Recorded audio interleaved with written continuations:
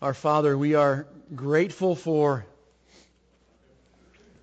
your grace that you have allowed us to have a Bible and you've given us the gospel, the knowledge of Christ to save us from our sins, that we would have this marvelous Savior we sing about, sing about and that uh, we could have the Holy Spirit given to us to have understanding, to have faith, to have response to you and your word. And so we appeal to you right now to do as you've promised. Take your word by the Spirit's power, by the Spirit's work, and give us understanding. Give us insight as we meditate, as we think, as we apply your word to our lives. I pray that you would bless what you have ordained, the preaching of your word. Bless our ears and hearts as we hear and receive. And we pray that you would be glorified as we follow you in this way.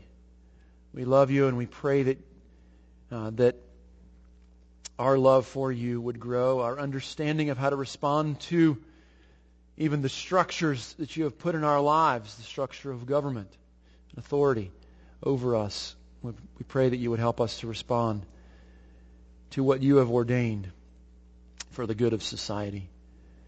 And we love you. We thank you that your word has such rich truths, full of guidance and insight and direction for us for all of life and godliness. And we thank you that we can pray in Christ's name. Amen. we'll open your Bibles to Romans chapter 13 as we continue our study in this thorough letter of the Apostle Paul.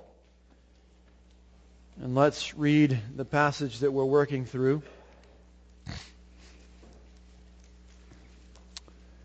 And I want to read a little before it and a little beyond it. Um, so start with me in chapter 12 and verse 14, and I want to read through chapter 13 and verse 10.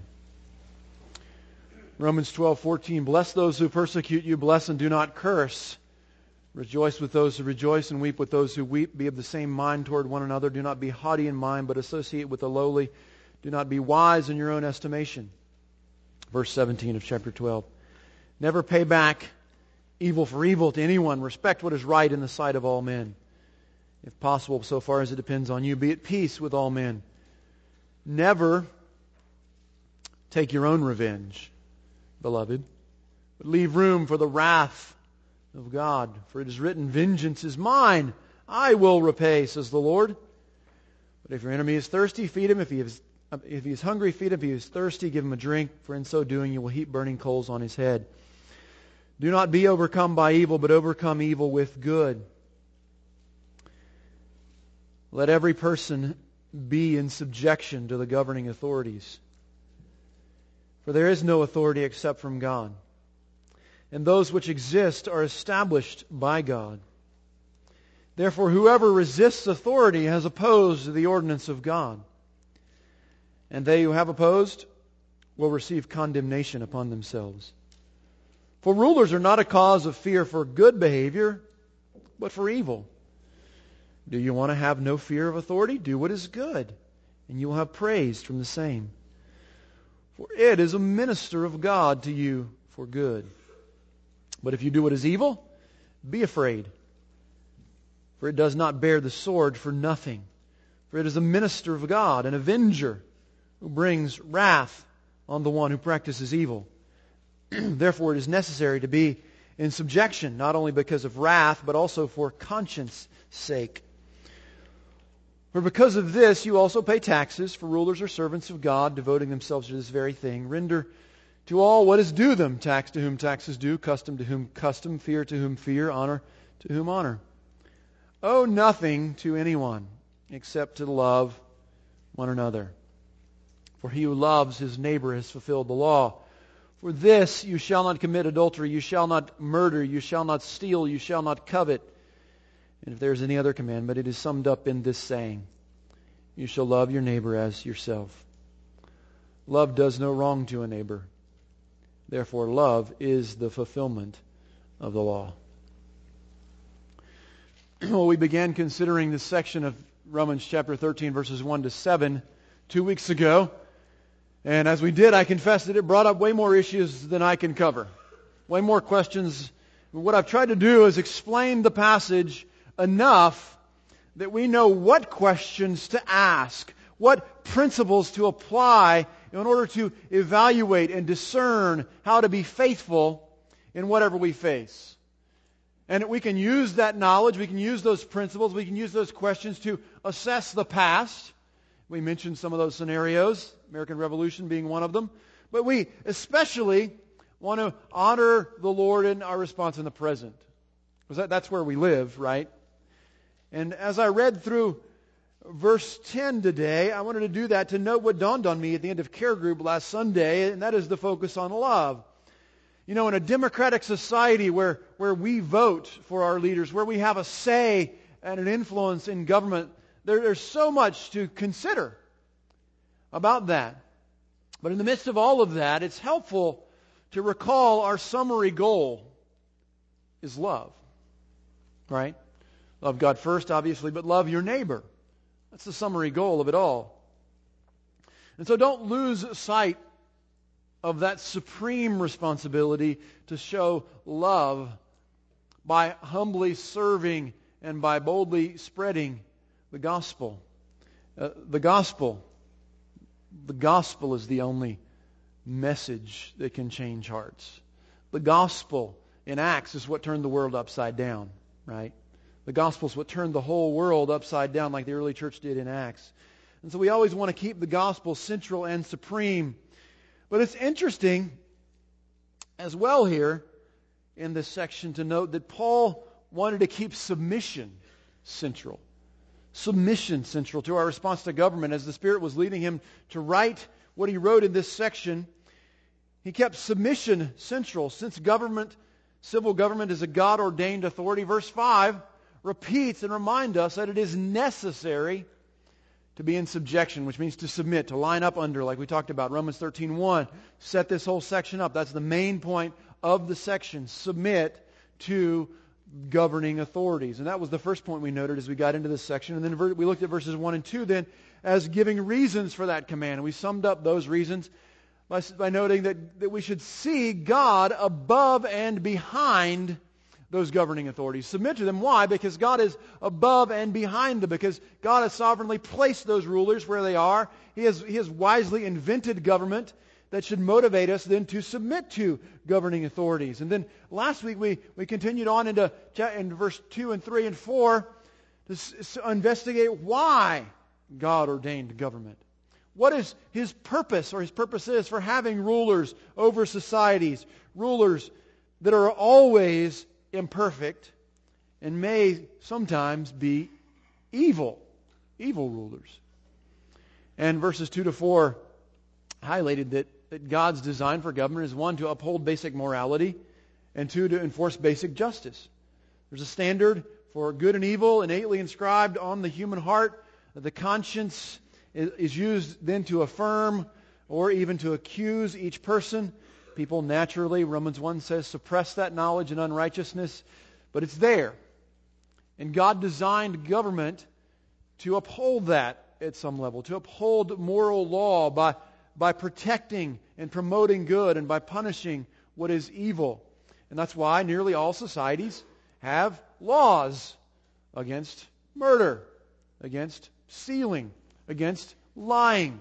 That's why most people that you speak to from any culture will value honesty and integrity and faithfulness and generosity. Because there's a moral law hardwired into the human heart. God made humans that way, and He wants His government, He puts government in place to function with that authority to bring good in the world, to uphold good. So government is good for you. Really. I know we mock that. I know we sort of question that. But that's right. God designed government for good for you. Now, we can talk about modern government. We can talk about the problems with it. We can talk about maybe going beyond what God intended, but God designed it in general for good. Look at verses 3 and 4 again, just to make sure you see that government is good. For rulers are not a cause of fear, verse 3 says, for good behavior, but for evil. Do you want to have no fear of authority? Do what is good, and you will have praise from the same, that is, from those authorities. For it is a minister, government authority is a minister of God to you for what? Good.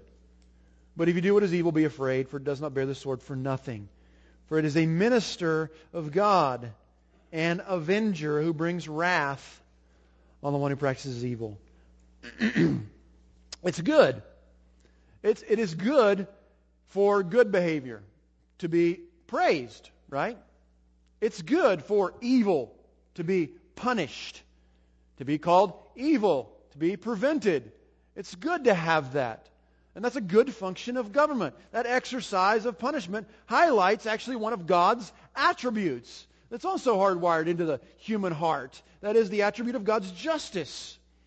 Right? You kids even understand justice because when your mom and dad get the ice cream out and your brother gets some or your sister gets some or your friend gets some and you don't get any, what do you say? Yeah. That's not fair. That's not fair. I want some ice cream because they got some. There's a, a standard, a measure of, of what is just. Now, adults say the same thing in more sophisticated ways that make us think we're not whining, but we really are. But with adults and kids, there's a sense of what's right, of what's just, of what's fair, whether that's ice cream or whatever it is. The problem, of course, is that we mess that standard up by thinking that all of us deserve ice cream.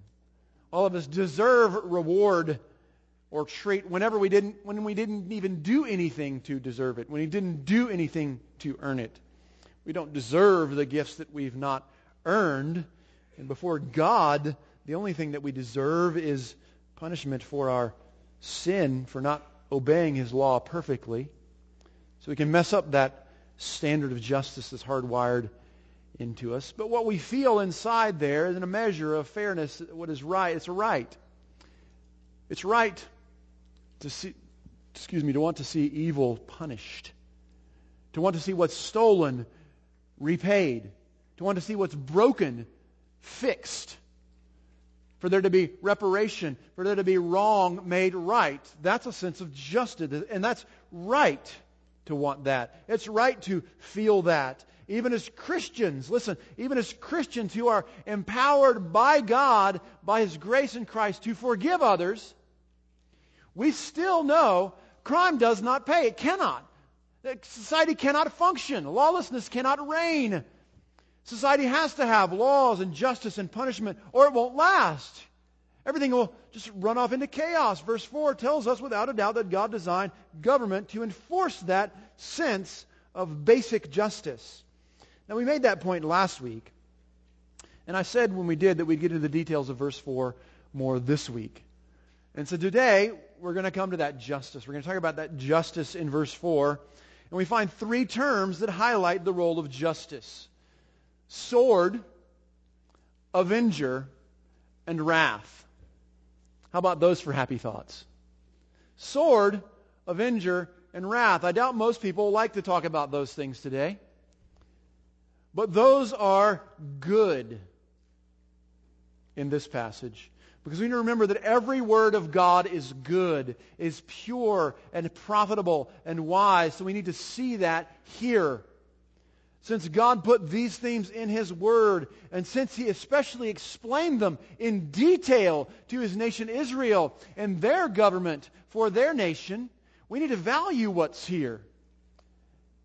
We dare not go to this and say, you know, this passage is for just those politically motivated types. This is just for academic discussion or debates about the past. No. There are good things that we need to draw and understand from this passage. So I want us to grasp two broad truths. We're going to look at verses 4 and 5 this morning. Two broad truths that God is serious about. That God is serious about as we examine verses 4 and 5. We're going to outline our, our walk through this with those two broad truths.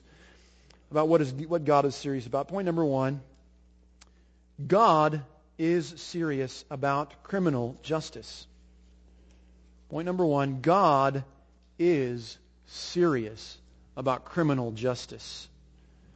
Now we know that because verse 4 describes governing authorities as God's minister. Remember we said last week that means that's God's deacon, God's servant.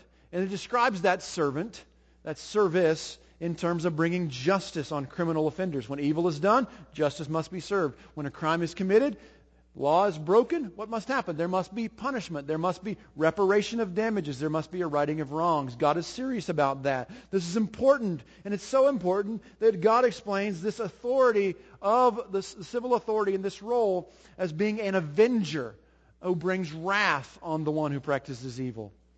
And that word avenger is used in 1 Thessalonians chapter 4 and verse 6 for God himself.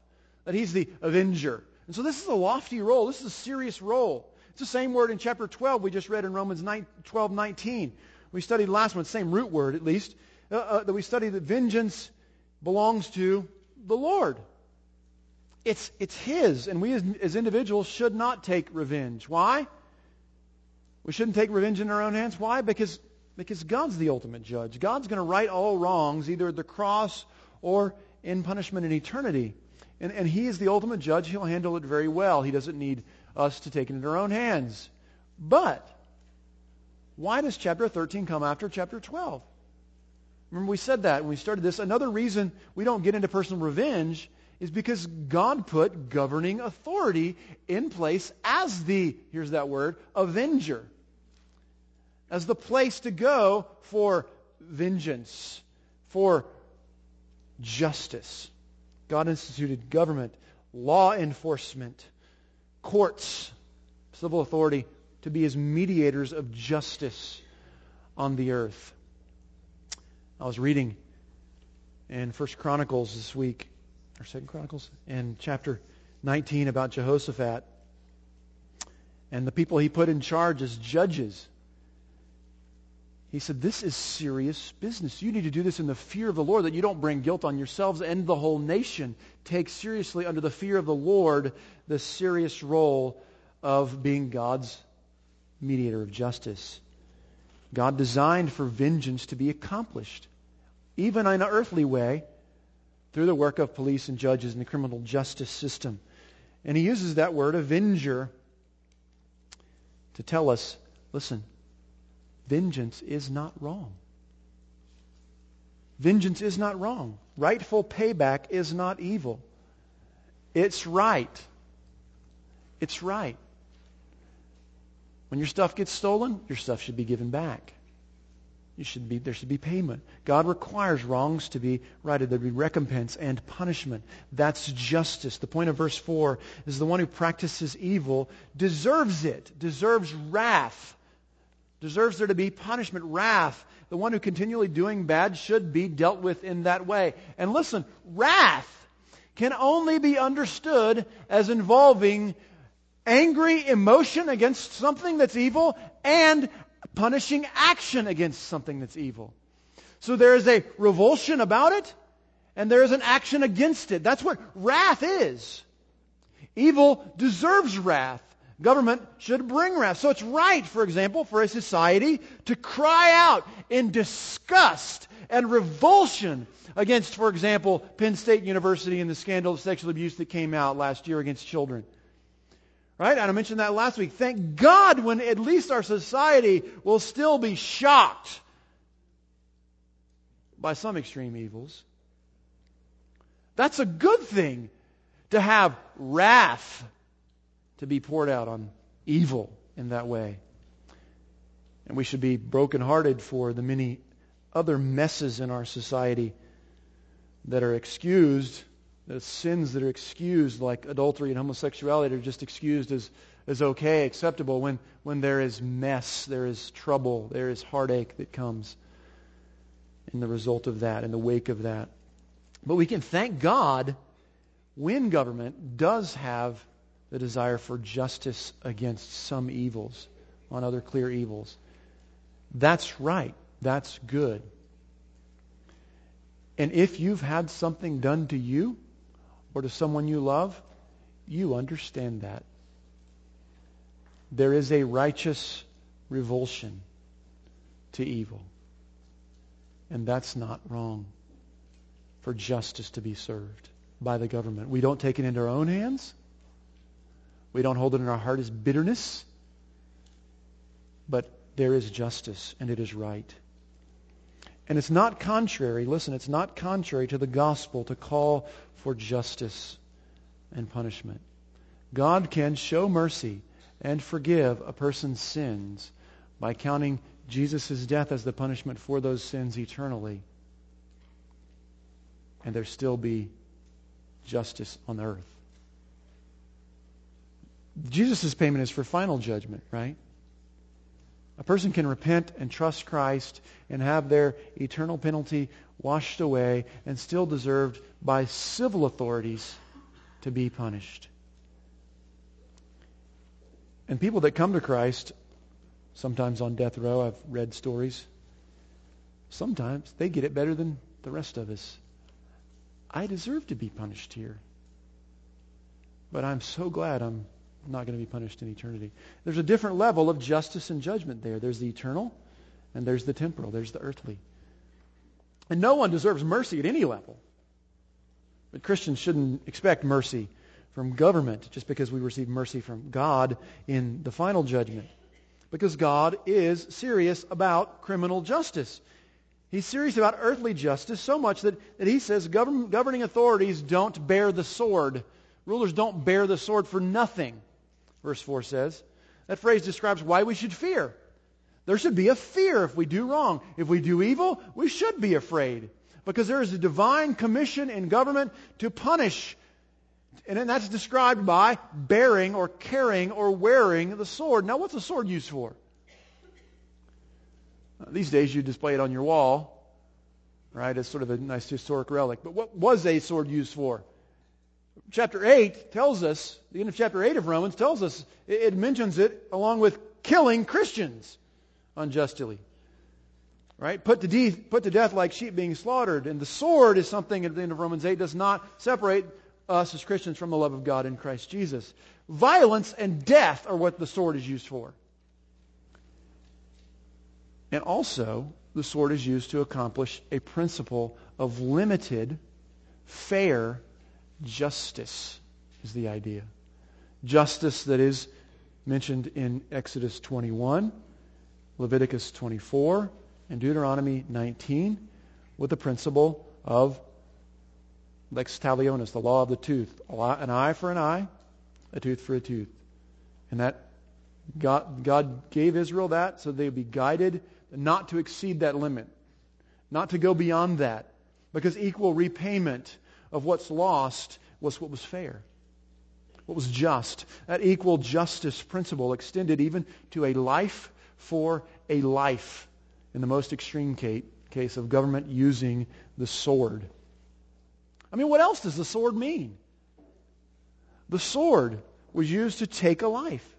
And Paul's mentioned the rulers bearing the sword points to the civil authority taking the life of a murderer. That's called, in our time, capital punishment. Capital punishment. Right? That's a hotly debated topic and political issue in our day, but it's not vague or questionable in the Bible. It's the strongest form of punishment because it ends the life of the, the criminal, but it's very clear from the very beginning. Turn to Genesis chapter 9. Very clear from the beginning that a life taken by a human requires the life of that murdering human in punishment. Remember, what happens in Genesis 9?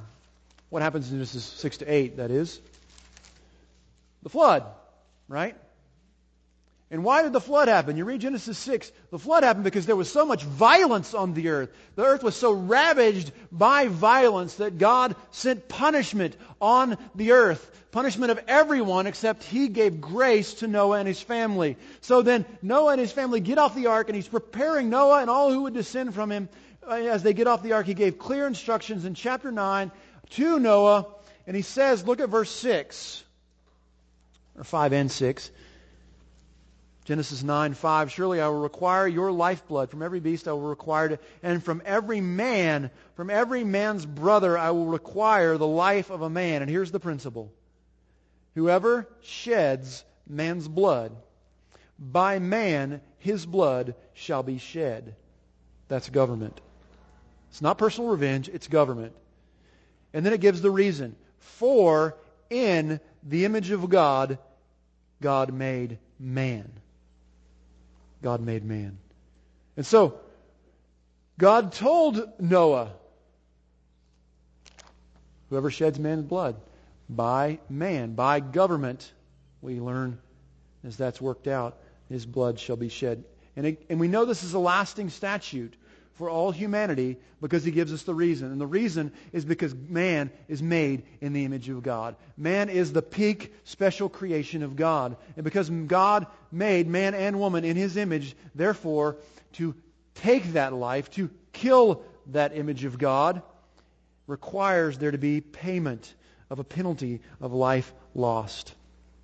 In fact, as you read the Old Testament, what do you find at times in the Old Testament of God's judgment on nations? Why? Because the blood of the innocent victims was crying out from the ground. Recognize that phrase? Right? For, it was crying out for justice, for there to be justice. And God, when those nations didn't have justice, God brought punishment on those nations, often by other nations. But that kind of justice is rooted in the character of God. As always, God does what is right and just and fair and wise. God will bring all things to account. And He puts government in place to bring a fair penalty. And it's proper, equitable justice. And listen, that means, and this is part of the debate, that means capital punishment for murder is proper justice whether or not it serves as a deterrent to others. Now, it does serve as a deterrent. It does prevent others. But it's first about justice. It's first about the character of God and justice. Now, we know it also does serve to prevent. And we saw that last week in Romans 13, verses 2 to 4, right? There's fear. There's fear of punishment, right? That fear Faithful punishment of evil by rulers is a profitable deterrent against those crimes. When people know, you know, the penalty for crime is real and serious and I'll get it if I do it, then they're going to be fearful to do it.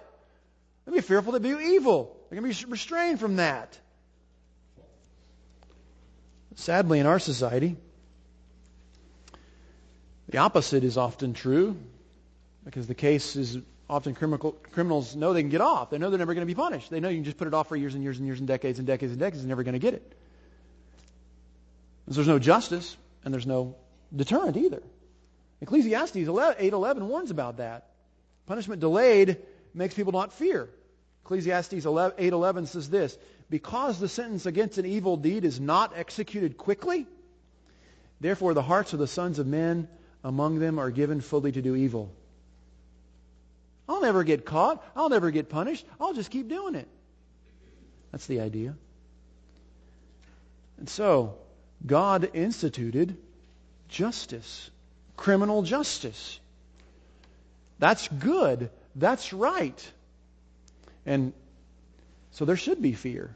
Sadly, another thing in our country is that we restrain law enforcement and military so much that they're the ones that fear doing their job rather than criminals fearing them. Military is a whole other issue, right? Bringing up military brings the role of one nation in protecting against another nation. Right? Uh, one nation protecting good and punishing evil in response to another nation. Now, I don't have time to give a lengthy explanation of what's called the just war theory of when do you go to war, how do you go to war, how do you decide whether it's right or wrong to go to war. But there are right reasons for a nation to go to war. And, and I want to point out that the principles that we covered, particularly last week, about a government's purpose under God, give that direction. Give that insight for how do you know when a nation goes to war, when one nation commits evil against another nation. Just as government, just individuals under government authority have to think through, well, at what point do I obey God rather than men? At what situation do I weigh these issues out in similar way. When one nation, for example, invades another nation and commits murder, really, right? See that? Murder against people of that nation, commits theft, stealing against the people of that invaded victim nation. The victim nation probably has just and right reasons then to respond. And, and it's their call as government to protect good and to punish evil for their citizens. So, so the victim nation then has just cause to protect its citizens. And that develops from there. And there arise also numerous questions about neighbor nations, about how a nation in our time defends against potential threats in a global society, and how to promote good and punish evil in a broader way in the world. And those are things I'm not going to give you a detailed explanation for. Um, those, though, require applying a passage like this to think through them. But listen, those are not issues that the Bible doesn't speak to. Those are issues people in roles of decision making and law enforcement and military leadership and government decisions should be experts on what the Bible teaches about these issues.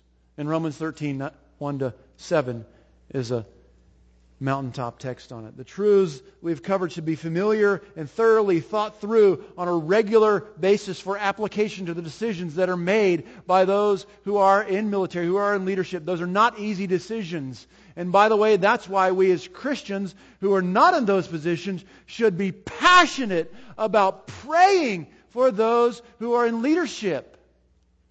Because the more you think about, meditate on the truth of these scriptures and think through decisions. We should be humbled not to easily jump to criticism of military operations. But we should be quick to get on our knees and plead with God for wisdom for those who are leading. For application of His truth, that, his, that leaders would look to His Word to make decisions that affect many lives here and around the world. I say all that to say military and national defense and armed forces and those can function internationally and nationally in a similar way that police officers function locally. So if the question has come up, can a, can a Christian serve in the, the military? It's, it's really the same question to me as a, a Christian can serve as a police officer or a government leader or any position of authority. The answer is yes. But the bigger question is this Is the job being done? Is the war being fought? Is the role being played fulfilling God's design for government? When you're in that position, are you asking the questions? Are you thinking through the issues of God's design for government, God's design for rulers, God's design for law enforcement, for criminal justice, for judges? Because God does speak to those issues. And when we think in those terms, we should honor our leaders. They're in a position of honor, a position of great responsibility. We should honor those who serve in law enforcement, those who serve in the military, those who make decisions as judges in government office, in many roles as God's servant, as God's ministers, as God's deacons in the role of government civil authority. They're doing what God designed. They're in a role that God designed for good. And particularly, that good is played out, is lived out by being serious about criminal justice. Because God is serious about criminal justice. Now, secondly, secondly, number two, point number two, God is serious about Christian submission. God is serious about Christian submission. And this gets us to verse 5, which is sort of a summary restatement of the resounding command of the whole section. Read verse 5 again to see the point. Therefore, it is necessary to be in subjection not only because of wrath, but also for conscience sake. It's not cool to mock authority. It's not cool to be a rebel. God put authorities in place to be honored, to be submitted to, to be in subjection to. Now, of course, we said before, Acts 5. Come on. Acts 5, 29. Acts 5, 29. I said it six times each week. Acts 5, 29 is one you can memorize and remember real easily. There's a time we must say, should I obey God rather than men? Acts 5, 29. Acts 5, 29. Acts 5, 29. Obey God rather than men. That's what Peter and the apostles had to decide to do. There is a time, there are situations where we obey God rather than men, obey His authority as the greater authority over men's authority who are under Him. But in general, the principle is to submit to rightful authority. And God is serious about Christian submission because we have reasons to submit that reach far deeper than a non Christian. We as believers share one reason that we submit to government, uh, that we share one with unbelievers, and that is the fear of wrath. And that's the first motive that Paul mentions in verse 5. It's necessary to be in subjection to governing authorities because of wrath, the wrath. Literally, the wrath. What's the wrath? Well, it's the punishment that's mentioned in verse 4 on crime. Governing authorities bear the sword, they bring justice. That wrath, the rulers bring on evil, is, is a motive. That's one motive for submitting. Kids, sometimes you obey because you know you're going to get spanked if you don't, right? If your parents do that, hopefully they do it under self control and with love, but they do it because they love you. That's one motive for obeying. You say, I don't want the wrath from government. I don't want the consequences. They're bad consequences. That makes sense. Adults, you don't drive, hopefully, double the posted speed limit because you know the penalty for that is probably no license. Right? I don't know that that's, I think that's probably true. Didn't look it up. But you know the penalty will be bad if you're double the speed limit. You don't cheat on your income taxes. You don't steal from your workplace, hopefully, because you fear potential bad consequences. But all people, and especially Christians, have a higher motive, a deeper reason, a more effective restraint that leads us to submit to authority. And that, Paul says, the better motive is the conscience. Submission for the sake of conscience is better than submission for the sake of the wrath. It's one thing to want to avoid punishment, but it's far better to want to avoid feeling guilty and instead wanting to feel a clean conscience. Wanting to know, I have obeyed what God has said in a measure. The human conscience is God's internal alarm system. It's the inside us that convicts our hearts and minds when we do wrong, and it tells us things that are right. The conscience responds. It's like a buzzer going off. Responds to the moral law that's written on the heart, gives affirmation or accusation.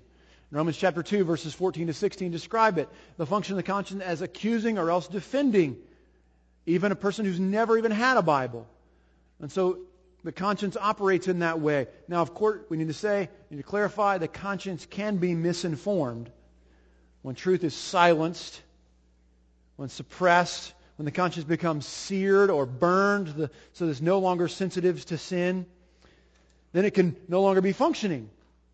Or similarly, if a wrong law is pressed onto a person's heart, like if you grew up getting guilt trips your whole life, you probably feel guilty for the silliest of things. Because you've been had this idea in your life that you just have to make everybody else feel good. Or something like that. Those there are ways that manufacture the conscience can manufacture guilt based on wrong laws, wrong principles, wrong truths, errors, lies pressed onto the heart, and then that grips the conscience in a way that is not functioning rightly. But when the conscience functions rightly, it can be a wonderful help. When the conscience is filled with the truth of God's Word, when it has clear directive from God, when those errors aren't directing the conscience, then it operates by giving encouragement and comfort for good and discouragement and discomfort for what is wrong. And then we feel good about good, we feel bad about bad. Right? That's a good thing. That's God's design for conscience. and by the way, That again raises the, as we mentioned last week, the inescapable awareness that God has a moral law that transcends every society and every culture. Good and bad are transcendent terms, and the conscience operates. They're not, good and bad aren't defined by rulers, they're defined by God, and they should be honored by rulers. And so the appeal to conscience is ultimately an appeal to God. Ultimately, it's an appeal to God as the highest authority and his definition of right and wrong. And so here's the point of Romans 13:5 our consciences should be informed that the norm in relationship with government is submission.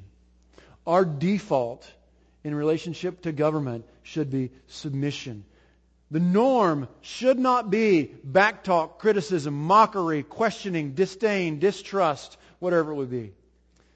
The default should be honor, should be submission to those in authority over us because God put them there and therefore we honor His authority by honoring the authority He put in place. And we should want that because God is serious about it.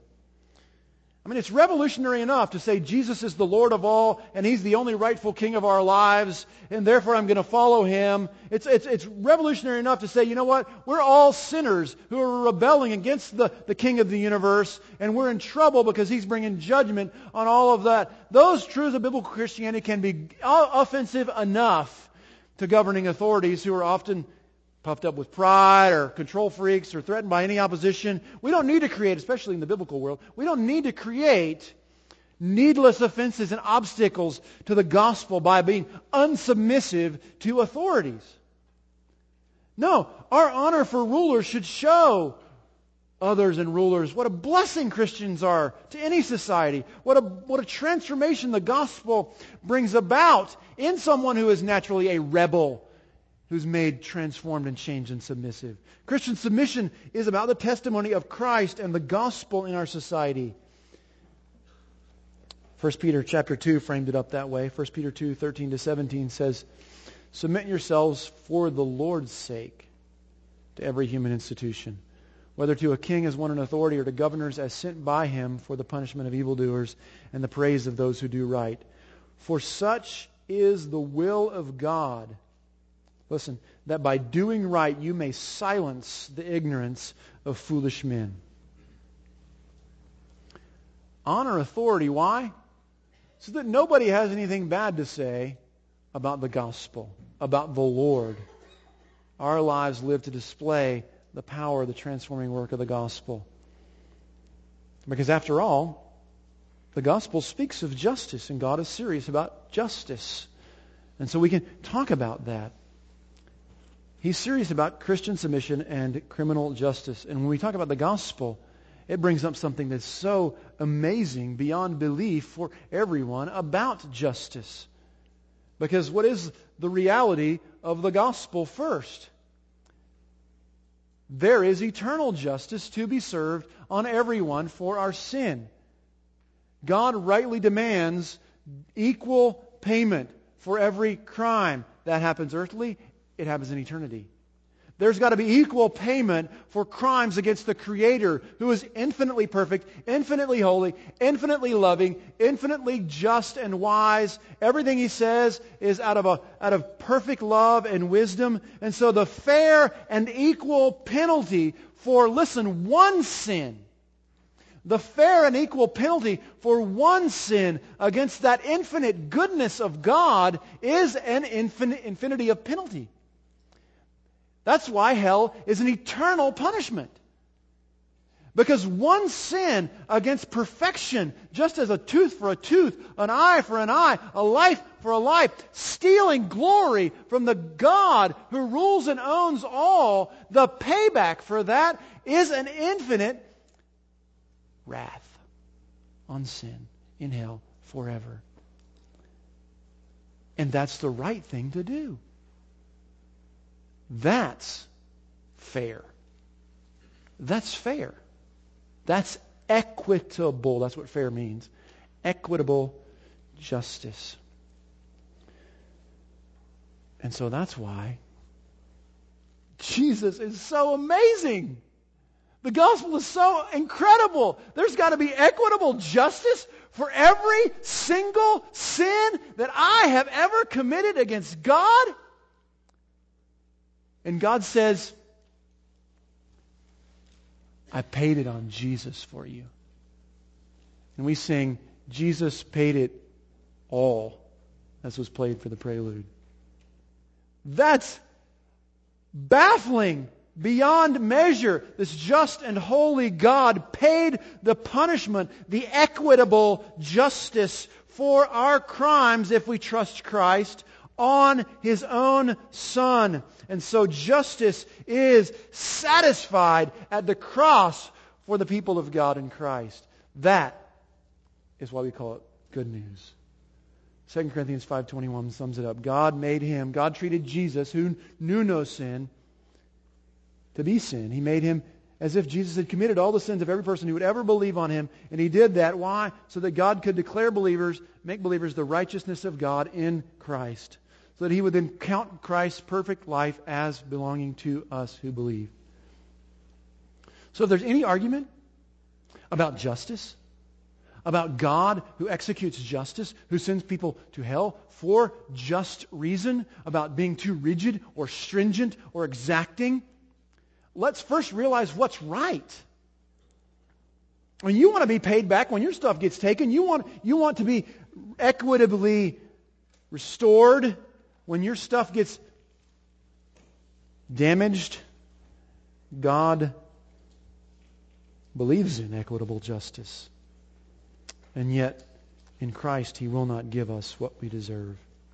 And so if you turn from your sin to faith in this marvelous Jesus, He will pay it all. That's what the cross is about. He will completely, He said on the cross, it is finished. He will finish the payment, the eternal payment for your sin if you trust Him. That is amazing. And that's the reason we live in submission to government. That's the reason we want to pray for our leaders and treasure our freedoms because that message of the cross is what changes lives. That message is what we want to proclaim. That is what we want to preserve the freedom to enjoy and gather, to sing about, and to proclaim to others. The goal of having good government, having better government even than we have now, the goal is not so we'll just have more comfortable lives. The goal is so we can boldly spread the gospel. So we can gather together to be strengthened in application and study of this glorious gospel. The goal of government is that we would have a quiet and peaceable life for these purposes for the gospel.